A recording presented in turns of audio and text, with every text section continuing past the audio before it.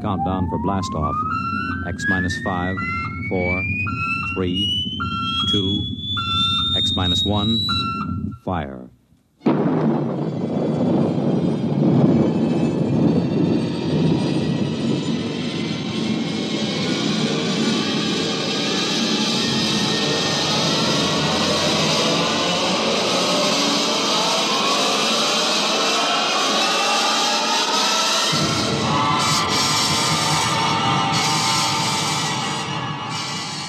From the far horizons of the unknown come tales of new dimensions in time and space.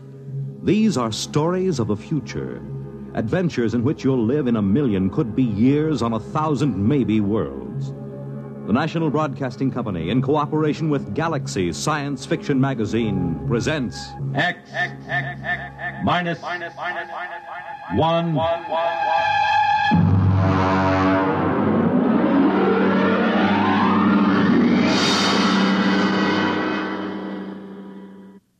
Tonight, End as a World by F.L. Wallace. But first, hear this. When the place is fine and the time is right, when the moon is low and the stars are bright. You make it Pabst, cause Pabst makes it perfect. Yes, Pabst. Makes it perfect. Just as we always have ever since 1844. So next time, you make it Pabst because Pabst makes it perfect. America's blue ribbon beer from the Pabst Brewing Company, Milwaukee, Wisconsin. Yes, Pabst makes it perfect.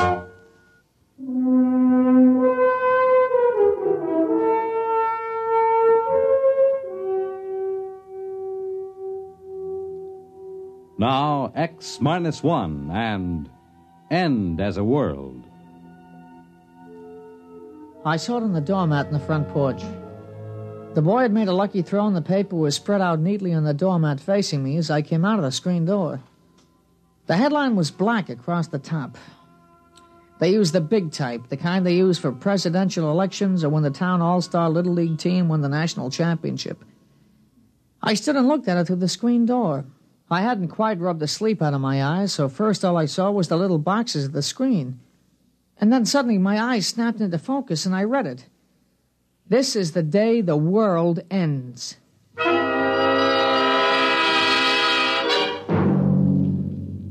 Pete! Pete, come in and eat your breakfast. Well, just a minute, Ma. Now, you leave the newspaper alone. You can read it later. Come on now, the eggs are getting cold. Yeah, but Ma, it's today. Well, what's today? Well, look at the headline. What's the only thing on the front page? Well, look. This is the day the world ends. Oh, that. Well, world's end or no, I won't have you eating cold scrambled eggs. Now, you sit right down and eat your breakfast.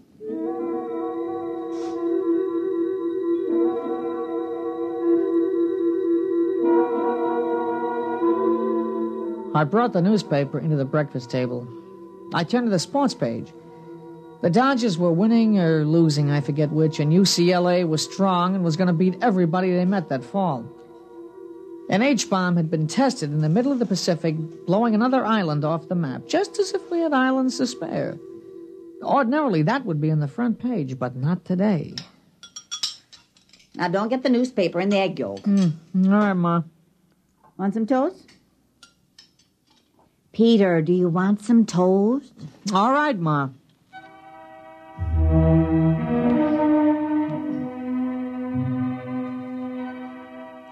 Was Saturday. Big things always seem to happen on Saturdays. I ate breakfast and got up. I had the usual things to do, like mowing the lawn, for instance, but I skipped it that day. There wasn't any use mowing a lawn on a day like that. I went out remembering not to slam the door. It wasn't much, but it showed thoughtfulness. I went past the church and looked at the sign that was set diagonally in the corner so it could read from both streets. There it was in big letters, quoting from the papers This is the day the world ends. Dr. Davidson scheduled a prayer meeting for the calculated time. It was a bright day. People were out walking or just standing looking at the sky. It was too early to look up. Hey, Pete! Pete, here you are. Catch! Yep. Here! Hey, who showed you how to throw a football? Hit, catch this! Hey, nice pass! Here you are, lateral. I got it. Here, throw, throw me a long one, huh? I'll run out on that button hook. No, no, look, I, I don't feel like it. Not today. Uh, what'll we do? Oh, listen, the new issue of Popular Rocketry came in down at Grover's. Yeah, I, I saw it. Or we could go down and see Howie. All right. Pete? Peter? Hey, your mother wants you. Yeah, what is it, Ma? Now don't go too far. I've got some things I want you to do. What? I want you to help me move some trash out of the basement and help me move some of the potted plants around in front. Ma, what's the use of doing things like that on a day like today? Never mind. Now, you come back by 11 o'clock, you hear? No. Ah, come on, Howie's probably down at Grover's. Hey, look at this high hurdle. I'll go right over the sign. Here I go. Olympic star Paul Smithfield.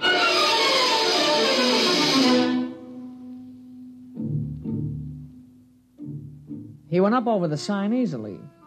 Paul's on the track team in high school. I looked at the sign again as he went over the top. This is the day the world ends. They never said more than that, not in the newspapers or in the signs painted on the brick walls. They wanted it to hang in our minds, something we couldn't quite touch, but we knew was there. We walked along down Green Street toward Grover's. Oh, what do you think of it? What? You know, today. I don't know. What about you? We got it coming. Yeah, but will we get it? I don't know. Hey, look. It's going to be nice and bright today. Yeah, it is now. Might cloud over. Yeah, it won't matter. It'll split the sky when it comes. Hey, you hear the new song? Hmm? Some disc jockey wrote it. I love you, I love you, love you. Hey, it sounds awful. Now listen, listen. I love you, love you, love you, till the day the world ends. I love you, love you, love you, till my heartbreak mends. And a lot more guff like that. You know, it seems awful. I mean, making a song on a thing like that, you think they'd have more respect. well, why shouldn't they cash in on it? How about that contest on TV? What will you do on the day the world ends? In 25 words or less. You know, some people would do anything for a buck. Yeah. You think they'd have some, I, I don't know, some understanding of how important it is. Well, they do. You should see the souvenir stands on Main Street. You know, pennants saying the end of the world, stuff like that. That's disgusting. Grover's has an end of the world Sunday. Joey Tripp had one last night. It was really the end. Yeah, he's a pig. Yeah, sure is. Boy, it was really something with nuts on top.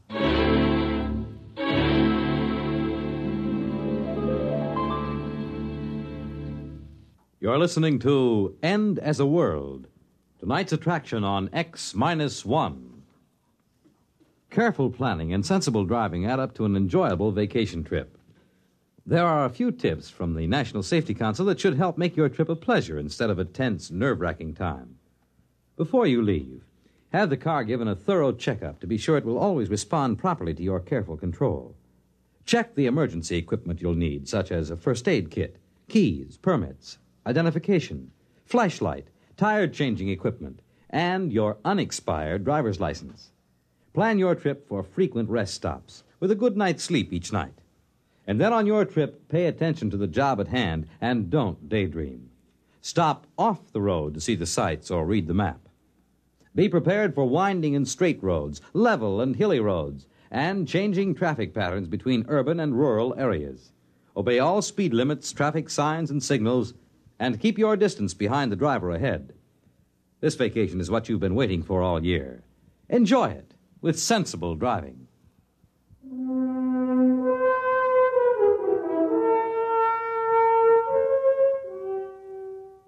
Now back to X minus one and End as a World. We went on to find Howie. He's a little guy, but he can throw a football further and faster than anybody else on the team. Howie was carrying a model of a rocket ship, carbon dioxide powered. Hey, let's see the model, Howie. Doesn't work. Well, what'll we do? I don't know. We could play Salugi. No, I left the football over at Pete's. I might as well just sit down on the grass. Okay. Hey, yeah, I wonder if it, it'll really come. Yeah, where will the president watch it from? He should have a good view from the White House. No better than us right here. What about Australia? Will they see it over there? They'll see it all over. Africa, too. And what about the Eskimos?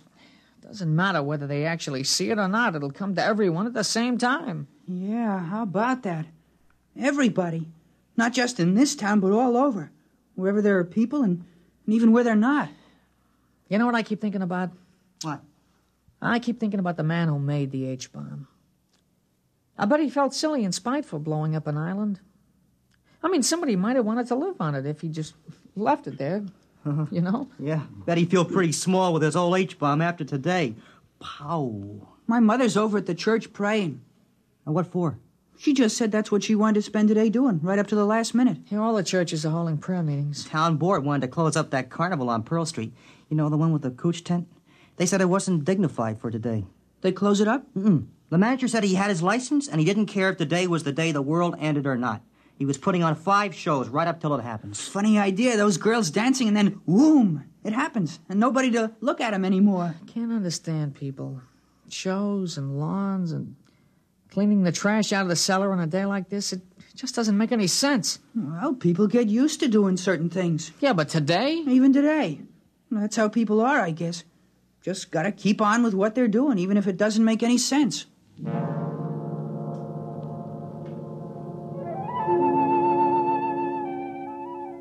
Now, we talked about it for a while, but we talked it out long ago. There was really nothing new we could say. Every once in a while, we'd look up at the sky, but it wasn't going to come until it got here. Finally, I went home for lunch. Now you sit still and eat your lunch. Oh, Ma. It'll happen without your help. It's going to be all right. Do you think so? I think so. I um, I'll give you your allowance now. Yeah, but Ma, it's, it's only Saturday. I I don't get my allowance well, until. I'll give it to you today anyway. You might as well spend it this afternoon downtown. Gee, thanks, Ma. All right, I won't keep you over lunch. You can run uptown and watch it from there. Oh, okay, Ma. You gonna go? Of course I'm not. Why should I get into that mob? I can watch it just as well from here.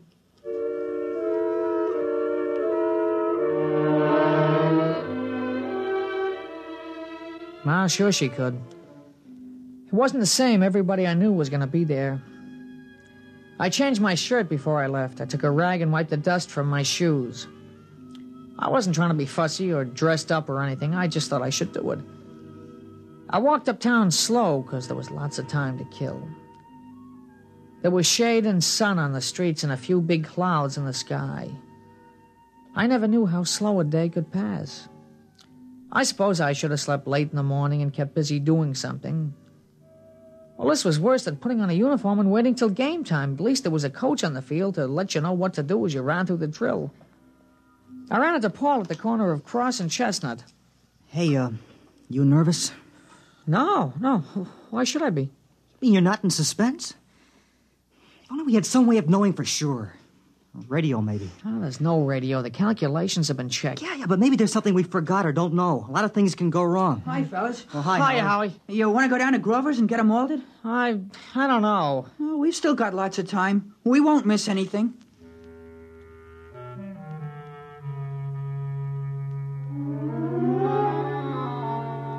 We all went down and had malteds at Grover's.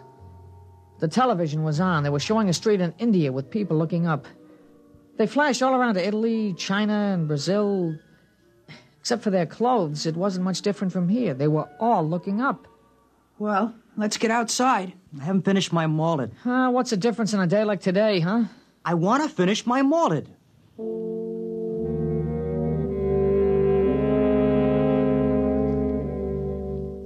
Outside, I noticed there was a slight overcast. The big billowing clouds had passed, but this was worse. I hoped that it would clear away in time, not, not that it really mattered. Hey, it's a pretty big crowd for a Saturday, huh? Well, this isn't a usual Saturday. What time is it? I don't know. You got a watch, Paul? No. We can see the clock on the merchant's block from the corner. Come on. Hey, it's Ginny Wexelberg. You see her over there? Hey, how'd you like to spend a day with her? That'll really make it a big day, huh? Oh, you don't need that old Ginny Wexelberg to make this a big day. After today, a blind 15 year old kid isn't going to seem so important. After today, nothing's going to seem important, huh? Well, there's the clock. We still got plenty of time.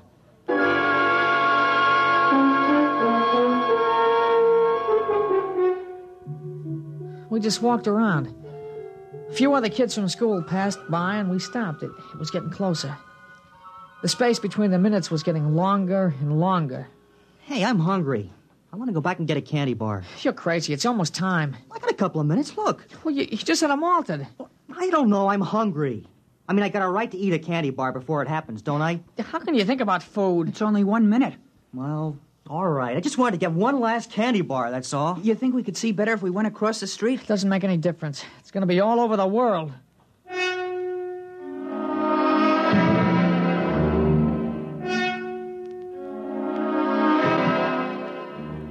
Was still a minute to go, and I kept wondering if there'd been a miscalculation.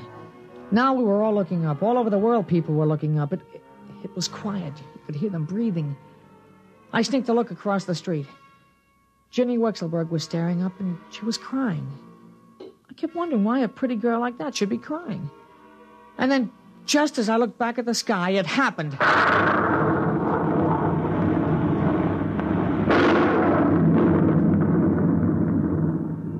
It came, the flash across the skies, a silver streak, the biggest vapor trail there ever was.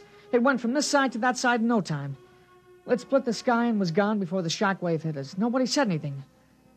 We stood there and shivered and straightened up after the rumbling sound passed. You know what? It's going to go around the whole world. Well, he did it. Yeah. Yeah, he did it. Yeah, he sure did. All the way to Mars and back. Safe and right on schedule.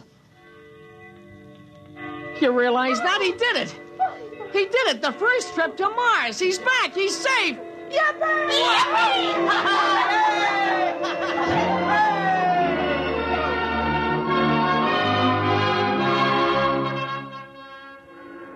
factory whistles down by the river started blowing. The bells of the Baptist, the Congregationalist, and the Roman Catholic Church were ringing. We were all jumping up and down, shouting, screaming, laughing as the vapor trail slowly faded into the overcast. I grabbed a hold of somebody next to me, and all of a sudden I realized it was Ginny Wexelberg, and she kissed me, and I kissed her back.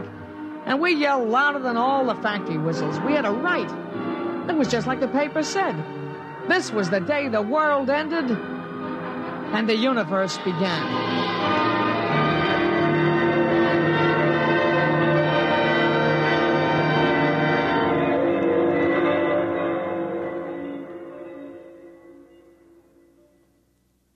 This is Fred Collins, and I'll be back with a word about X minus one in a moment. Hi, this is Walter O'Keefe. You know, they say there's nothing new under the sun, and maybe that's true. But there is something new under the moon, and that's Nightline. In Nightline, we think we found the way to use the intimacy as well as the lightning fast maneuverability of radio in an hour and a half package of high voltage, different entertainment. We found the way to make the airwaves your magic carpet to wherever big things are happening. Anywhere in the country, for that matter, anywhere in the world. Now, let's say that your favorite comedian is performing at a Las Vegas nightclub. He's packing them in, and you've really got to have connections to get a table. Well, Nightline is that connection, and your radio is your ringside table. More things than you'd believe are happening in the so called still of the night, and Nightline is your line to exciting entertainment after dark. My feeling is Nightline marks a new era in nighttime entertainment. Tune us in tonight over most of these NBC stations.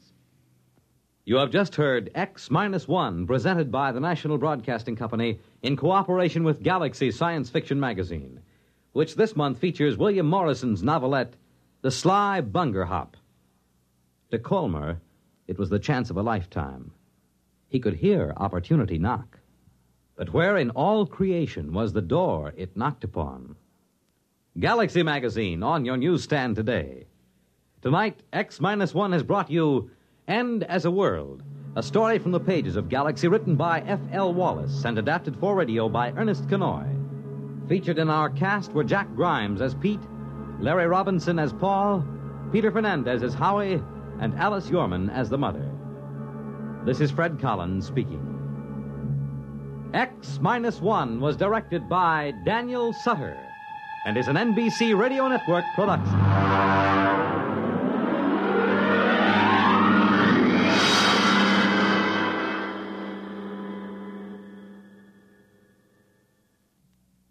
Next week on X minus one, another exciting story from the pages of Galaxy The Scapegoat by Richard Maples.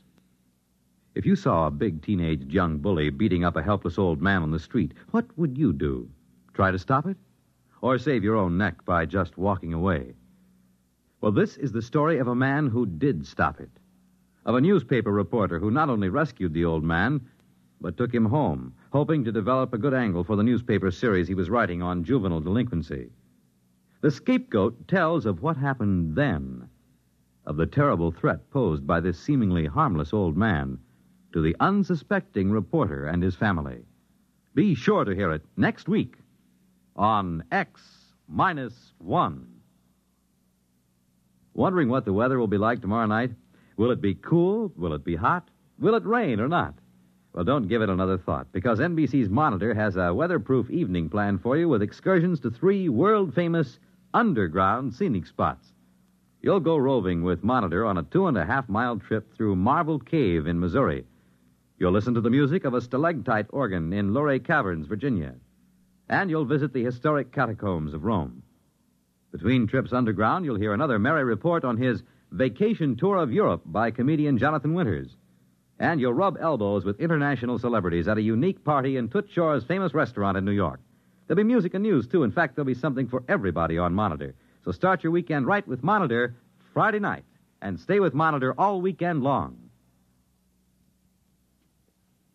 Nightline takes you to wherever exciting, interesting, and entertaining things are happening. Tonight, over most of these same NBC stations.